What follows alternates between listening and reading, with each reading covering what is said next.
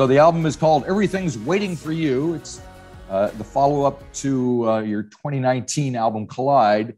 Uh, my feeling is quite a bit has happened between those two events. Uh, you went on tour. You had, all, I mean, all sorts of stuff. Is what? How have you changed as an artist in in between that time? I think that's a great question. I think personally, um, I feel like I've got more confident um, and just uh, maybe slightly a bit more ambitious because of the shows that we were playing. So, like for example, when we played Glastonbury, we right. had like a sold out tent, and everyone was singing along, and it kind of, I suppose, it kind of like like set up a spark in me to maybe think, oh, we can play some, you know, some bigger rooms. We can, you know, the sounds, the, the sonic palette could get bigger, and um, yeah, I just say a bit more confident. Really, um, I don't think I've changed too much as a person, you know, and I, I, certainly love the same music as I loved on the first record. And I think if you're a fan of my music, you'll like this new album. But I think it's just, you know, I think every band artist needs to expand uh, on each record. I'm hopefully doing that. Right, right, right. Well, you, you mentioned bigger rooms. I saw a quote from you saying that when you were making the record, you wanted to record, uh, make a record that required bigger rooms. So, uh, is yeah, that, is that talking about the studio itself? No, not really. We, we, you know, obviously, I was blessed to record the album um, in Abbey Road and like mm-hmm. RAK Studios, but right, it's just, I think it's just, you know, I, I originally started off when I, my first release um, that we ever did on the first record was like very, very folky, yep. almost kind of like, um, you know, like Lumineers, Simon and Garfunkel, that kind of vibe. Yep. And I feel like I just, yeah, I feel like you, you, I don't want to make the same record twice but I also, you know, want to stay faithful to what I do. So there's obviously a bit of that in there. But yep. I think I'm naturally I love like, you know, like guitar music as well. So I think there's just a bit more of that in there as well. Okay. So so when you went to with that in mind, how did you approach making this record? Did did you think about expanding your musical palette, so to speak, a, a bit? And and how did you do that? Yeah, I think um the songs naturally just like our bigger songs. Like everything's waiting for you for example. Right. It, it's it's just such a like um you know not a, like a huge chorus but it's you know it, it, it's not a folk song. It's not it's not from that world. It's it's definitely you know it could sit alongside like a coldplay or a u2 song or a Keane song. Right. you know it's more of that ilk. Everything's waiting for you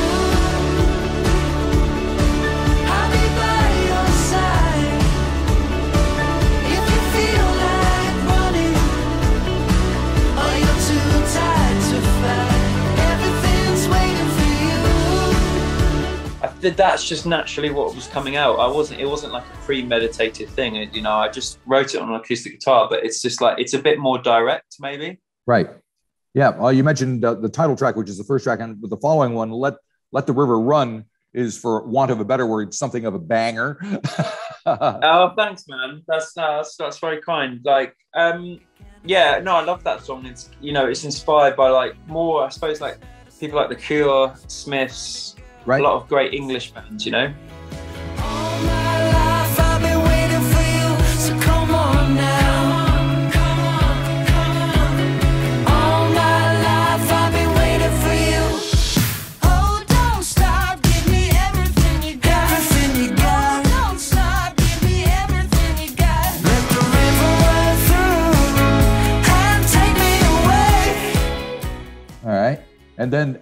followed in, by a song called Dive, which I believe you had a guy named Chris Bond producing a, that one with you. So tell me what he brought to the table. Blue skies, kind heart, leading me out the dark. Oh Lord, I was lost.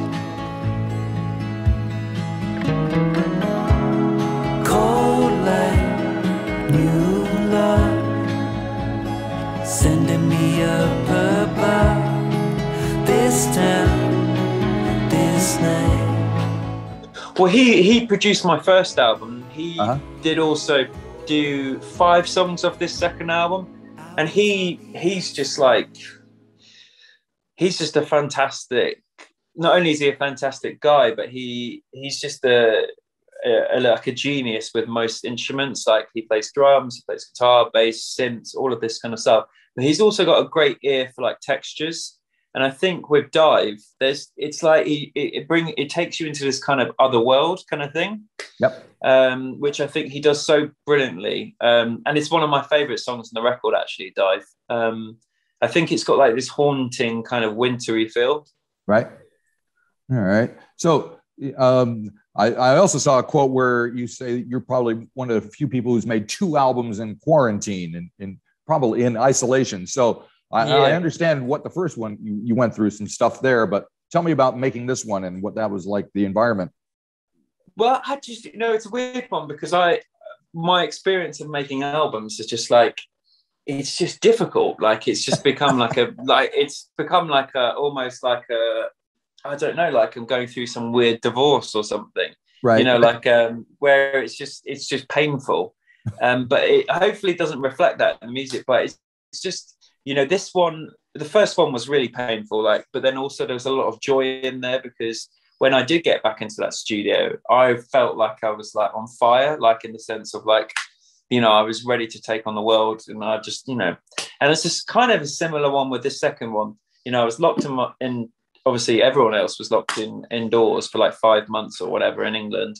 Yeah. And um my first experience of kind of going out was being let into a studio and right. it was just again like the best feeling of being unleashed and just making music with your friends. And so how many people what kind of vibe was it like once you walked into that studio? Did you have a lot of people bustling around? Was it kind of quiet and intimate? What? it was it was more restricted than normal. So in abbey road we you know we'd have less people in at one time. Right. It would be a bit more sporadic in when people were coming in. There was masks involved which is obviously you know yeah. pretty weird when your gu- guitarist is doing a solo and he's wearing a mask. Um, so that is just, weird. You know, it, it is weird. It's, it's you know, it's just it was strange, but music it, it, it, felt a bit like an escapism as well. You know, I felt like when we were making the record, it was like kind of like last summer, around about August, we did the bulk of it. Right. And um, it was just, you know, it was a very strange time to be a, a, like a human being, wasn't it? Really. um, so music provided me with, escapism, and the same thing happened on the first album. You know, when I was in the hospital for two months with Crohn's disease, I was writing. I had a room for a couple of weeks on my own, and I was writing. You know, I had my guitar, writing songs. It's escapism for me. It always, always has been. Right. Okay. So yeah, there's a track called "Hymn for Her," with uh, yeah. a person named Lydia Clowes, I believe, is featured on that one. So tell me, tell me how that one came together.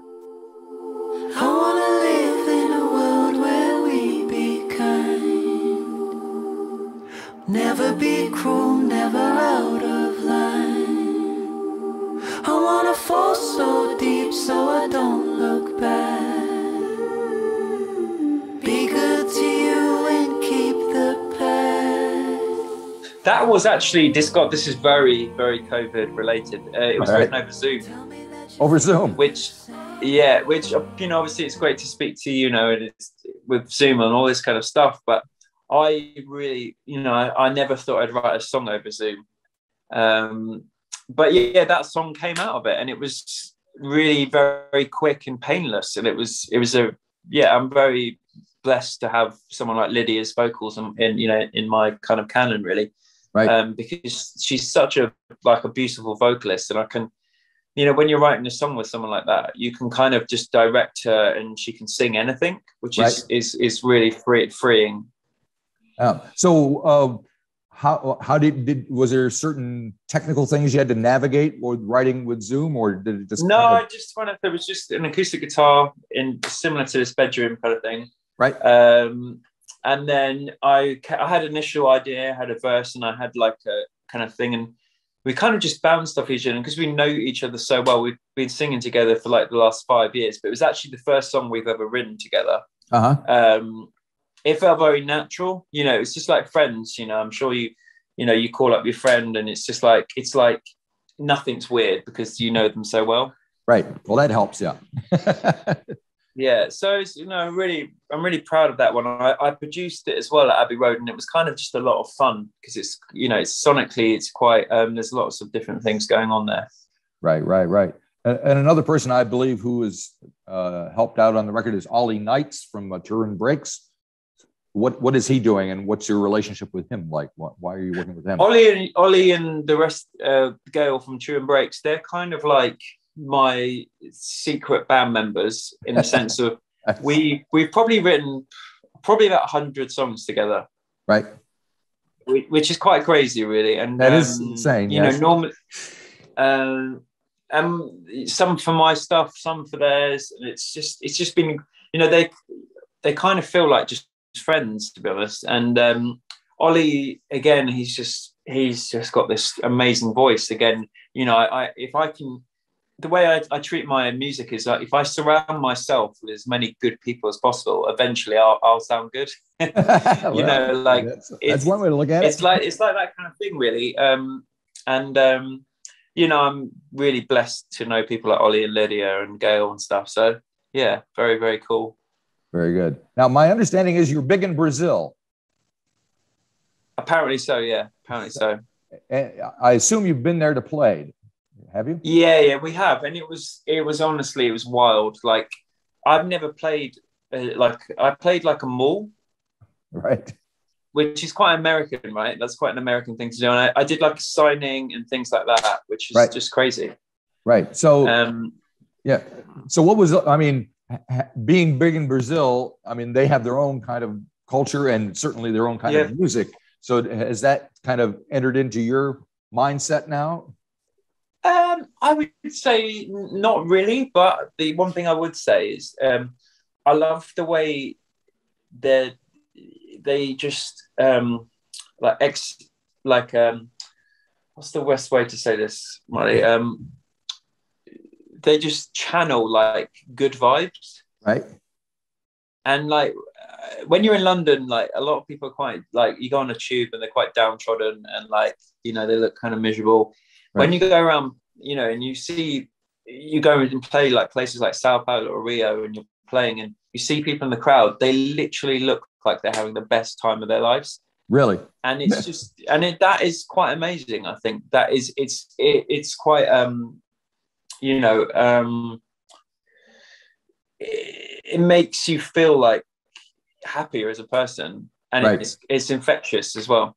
Yeah, I know what you're talking about. I I've spent some time in New York City, and the big thing about travel traveling around there is never make eye contact with anybody. You know. Yeah, yeah, yeah, yeah. yeah. That's it. Yeah, and it and and you know, it's it, I feel like London. You know, the if you know, obviously there's a big you know there there's obviously poverty and all this stuff, but there's a lot of very privileged people. And sure. I think sometimes we don't realize. I'm I'm one of them. You know, sure. I'm a very privileged person. Like, but I don't I don't think people realize how lucky they are right? In in a lot of ways, and I think it's just you know you go to Brazil and there's not you know sometimes they're very poor places and things like that, and people just you know ex you know they just channel this kind of like I don't know what it is. If I could bottle it, it'd be amazing. Very good. So the album but is out on an incredible. Sorry, go ahead. Incredible place. Yeah. So the album's out yeah, on Friday, but I place. assume you've gotten some reactions, some reviews, some you've played it for people.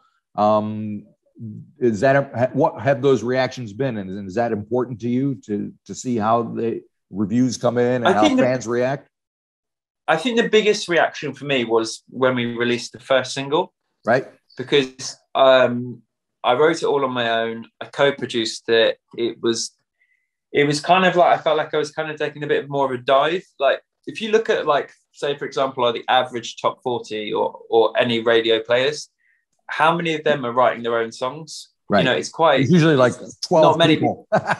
yeah, exactly. I, you know, and it's it's. I feel like it was kind of like I was really like pleased that the label and stuff and people, you know, my radio plugger and people got behind it and were like, yeah, we can do this. Yeah. And it and we had um, a lot of radio success in the UK. We were on like Radio Two, which is you know like the kind of the biggest radio station you can get, or sure. as a B listed record, which is really, I was really proud of that. And um, ever since then, it's kind of just been, you know, pretty crazy. It's been even right. during like you know a lot of it we were in a lockdown but it was still yeah. like the music was just like resonating with people which is i couldn't have asked for more support really yeah. well it's interesting because with that kind of success has its own uh, list of possible downsides as well you could suddenly there's this pressure to exceed that success and that your record label could go, oh, why don't you go up to talk to Max Martin in Sweden or something, and you know, write write yeah, yeah, yeah. rookie things. So, was there any of that kind of feeling com- coming from anywhere?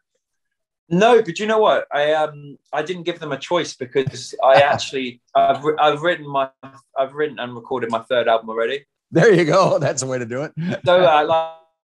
I've, I've, I, I, you know, I, I'm, I think I'm handing it in like in like two weeks time. So, right. Um, I just because obviously you know I, I, was used to gigging like hundred gigs in one year. Yeah. And um, I haven't been doing that, so I, I got busy writing, and I had a lot to write about, and yeah. So I I I, I you know I think they the label and everyone's just I'm not. I don't think I'm ever going to be like an Ed Sheeran kind of type kind of person. So I think it's just like I th- I feel like it's stepping stones, building and building and building, which right. is exciting to me. So if, if it was left solely up to you, you, would you put this third album out like really close to this one, or would you wait a while? I would like to wait at least like I'd like to get a single out maybe April. Is that right. that's quite soon, isn't it? That's not bad. Yeah. Well, time flies these days. Yeah. Seems to. exactly. You know, and I, you know, I, I grew up in the '90s. So, like, if you look at Oasis, they did three records in from '94 to '97. Yep. And you look at the Beatles. And that was their best stuff what, too. yeah, and you look at like the Beatles, what eight years? Yeah, and they've got all that music. It's like insane. So, and I think with the way streaming is these days, like it's very much like it's one thing after the other. It's quick, quick, quick. You know, grab your attention. So it's like the days of like maybe me making an album and doing another one five years later. It's just I just don't think it's like yeah. unless you know unless you know it's needed for the music. It should be all about the music, really. And do you see yourself, like in a good flow. Do you see yourself another big worldwide tour in, in the works? Yeah, I think as soon as it's safe and all right. of that stuff, yeah, I'd love to, you know, um, I'd love to go to Australia and New Zealand. Like I've never been there before. Um, we did America, Brazil, uh, Canada, US, and most of Europe yep. on the last record. So I feel like we've still got some places to, you know, visit really. And did you have to change the way you present yourself or your songs depending on where you were and who, who was listening? Yeah, I think to be honest, I think as long as the songs, you know, when I write a song, it's always on an acoustic guitar anyway. So I think if it can translate on an acoustic, then we're fine. You know, we sometimes play as a five-piece band, or it's just me and Lydia right. who um who go out together and just you know do the acoustic thing. Right, right. So the album ends with a song called uh, was it "Shine with Me"? I believe. Yes. Yeah. So is there a reason why that one kind of wraps it up and, and brings it? I feel like it, it, it just it it's made to be a closer. You know the way it kind of just repeats and repeats and it gets you know that freeing feeling of "Shine with Me" with the choir and all that kind of stuff. It just sounds like a closer to me, and it's very it's very chilled out and it's just it just flows really easily. Alrighty. And I think if it was too early in the album, it just wouldn't make sense to me. But um, again, a lot of fun recording that. We, um, yeah, we had a lot of fun. We had Steve Cradock from Ocean Colour Scene and Paul Weller on it. Right, right, yes. And which is great. And um, how'd you Chris rope him did in? a great job. uh, he only lived down the road, and he, well, there you I don't think he had much work on that week. So, um, but. Uh, and uh, yeah, but I mean, Chris did a great production, and it's just yeah, it's just a really nice song. I think. Thank you for doing this. Very good. Good luck with everything, and hopefully we'll see you down no, in this part of the world sometime soon. Yeah, yeah. Well, we need to get a vinyl to you as well. That would be fantastic. I'll send them the address. yeah, great. See you, Bye bye.